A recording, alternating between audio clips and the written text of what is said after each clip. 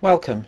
In this video we would like to show you how to record a dictation with the Digta 420 dictation device from Grundig Business Systems.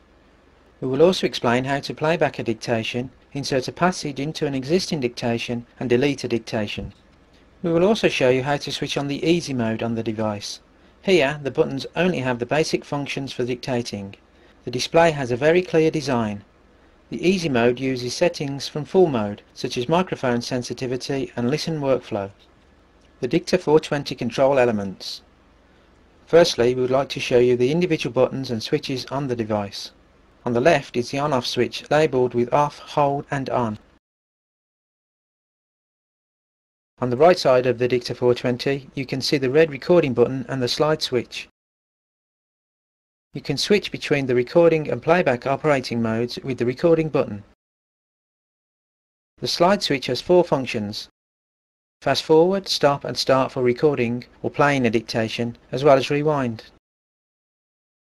In addition to these functions, the Digta 420 has two selection buttons, two navigation buttons, and a new button for recording a new dictation. Recording a dictation.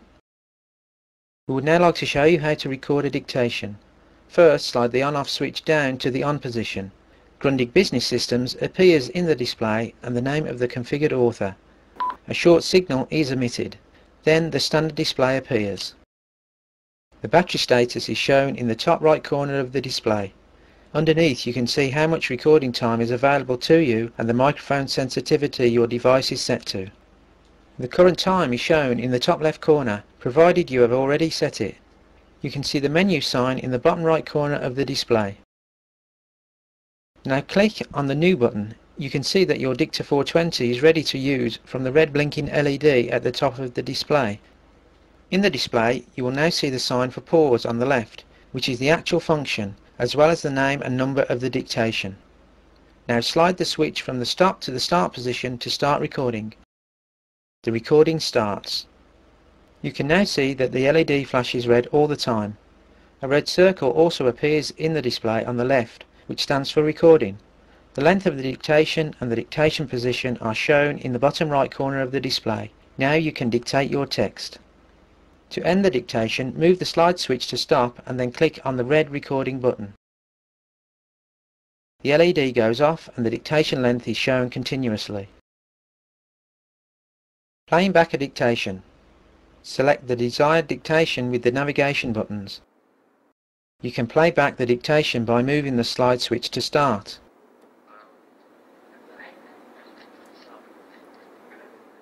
Inserting a text passage into an existing dictation.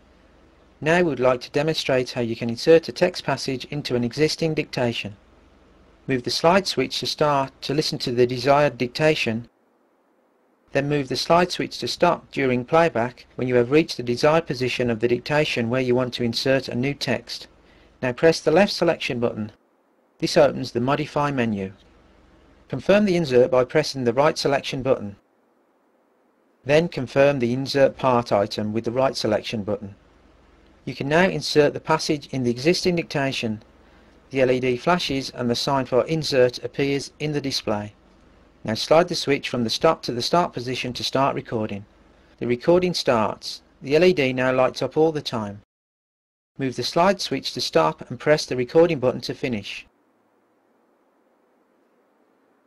Deleting a dictation. We would now like to show you how to delete a dictation. If you have already saved several dictations, then select one of them with the navigation buttons. Click on the left selection button for the dictation you want to delete. The Modify menu opens. Now select the Delete item with the navigation buttons. Confirm by pressing the right selection button. Confirm by clicking twice on the right selection button. The dictation is deleted. Switching on Easy Mode. Finally, we would like to show you how to switch on the Easy Mode on the Digta 420. The buttons here have the most important functions for dictating. To switch on the Easy Mode, press the New button, move the switch to on and press the New button at the same time until the Grundig Business Systems logo appears in the display. You can now see that the device is in Easy Mode by the different display. To return to full mode, first switch off the device. Press the new button and whilst holding it down, switch on the Digta 420 by moving the switch to on. The device is now back in full mode again. Now you are familiar with some of the basic functions of the Digta 420. Grundig Business Systems hopes you enjoy dictating.